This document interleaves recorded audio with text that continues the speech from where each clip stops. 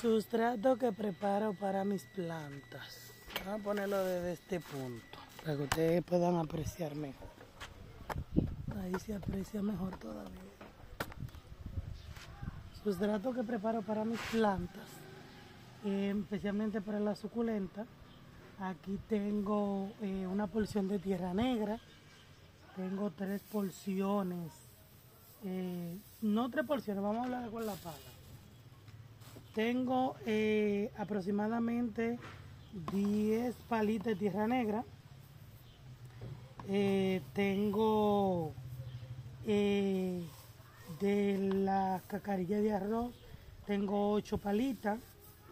Y de el carbón, mírenlo ahí, carbón, tengo tres palas con echar de carbón. Carbón triturado. Ese es cuando, eh, eso es ceniza ligada con ya carbón. Cuando hacen esa, esos hornos para hacer carbón, lo que queda de abajo, eso es que yo compro. Y la cascarilla de arroz que nos va a ayudar con lo que es también el drenaje de las plantas. Igualmente que el carbón, el carbón es un fungicida orgánico, natural, que ayuda a nuestras plantas que no cojan plaga en las raíces. Y nos libra de pulgones de cochinilla, el pulgón blanco, el pulgón negro. Este, y también sirve como eh, abono de crecimiento para nuestra planta. Y con todo esto nosotros vamos a mezclarlo y van a ver los resultados. Lo hago con la mano porque a mí me encanta bregar con mi tierrita.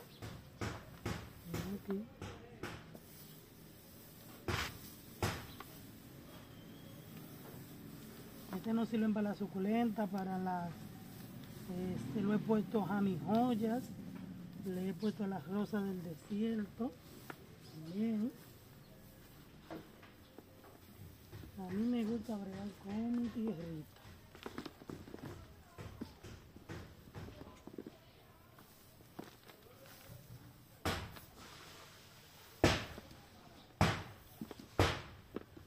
Y mezclo bien. Están por ahí construyendo. Y le voy a echar también la porción de humus.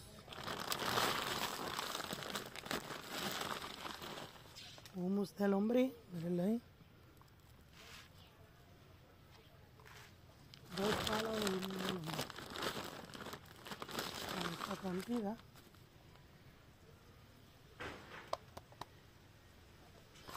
Y vamos a echarle también echamos abono de lenta liberación. Mm.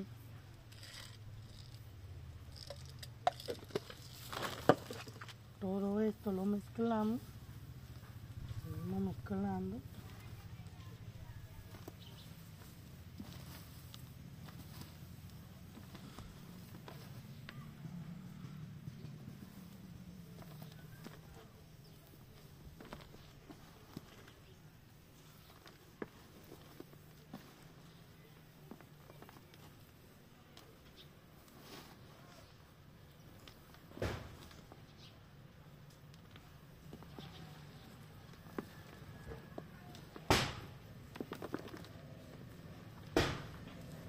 Y ahí está totalmente mezclado.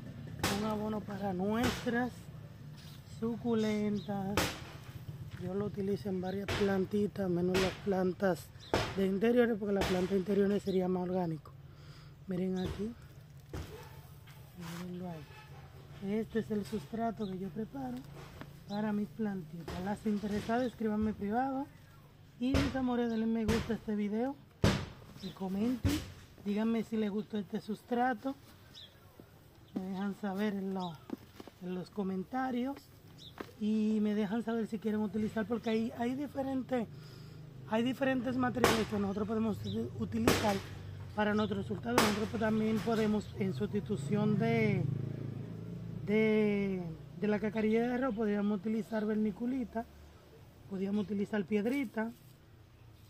eh, pero díganme ustedes, ¿cómo ustedes lo harían? Díganme en los comentarios. Denle me gusta y suscríbanse a este video. Bendiciones. Lo dejo con esta imagen.